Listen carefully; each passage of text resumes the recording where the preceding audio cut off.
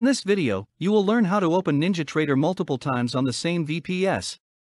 Start by opening the control panel, and click on Change Account Type underneath User Accounts. Next, click on Add a User Account.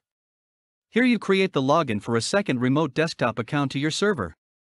In this example, I'm naming mine account 2, but you can use any name you like. Set a password for this new account, and then click on Next to continue.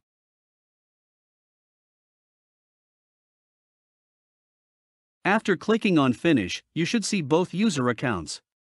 The last step is to click on the new account and select Change the account type. Select Administrator and click Change Account Type. You are all done now. If you are on a Mac computer, add a new PC to Microsoft Remote Desktop using the same IP address, your new account name, and password. If you are on a Windows PC, right click on Remote Desktop Connection and click on Remote Desktop Connection again to open a second instance. Change the username from administrator to the new account name, and select the checkbox for Allow me to save credentials.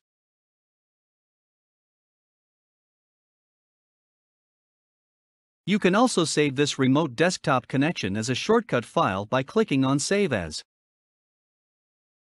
Lastly, click on Connect, and enter the password you created.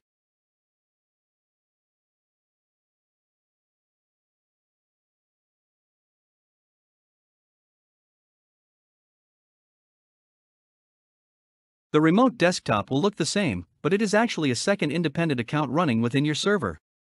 If Server Manager opens, click on the X in the upper right corner to close it.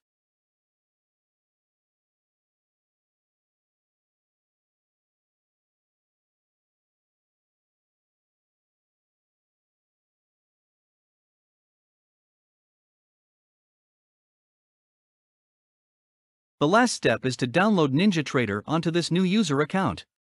If you try to open NinjaTrader from the icon right now, it will not open. If you have the NinjaTrader installation file on your local computer, copy and paste it into the remote desktop window. Otherwise, open the browser and navigate to the NinjaTrader download page.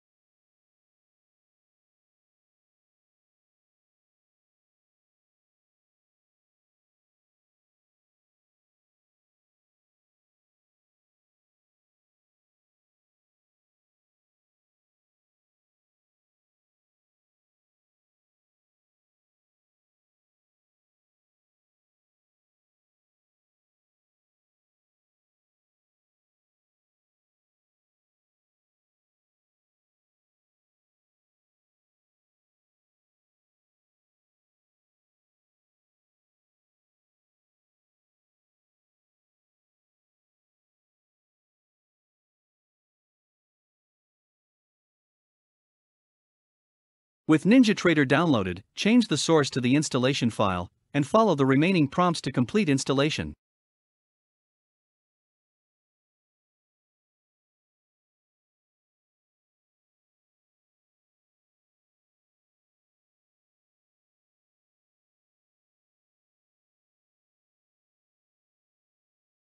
Now open NinjaTrader to test if it can be opened on both accounts at the same time.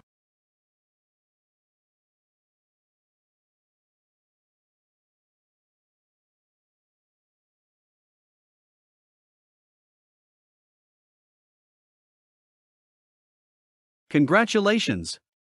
You can now open multiple instances of NinjaTrader on one server. However, keep in mind that it will use twice the amount of resources, so you may want to upgrade to a larger server if things start to feel laggy. As always, thank you for watching, and if you have any trouble following this video, or have any questions at all, please email support at ninjamobiletrader.com.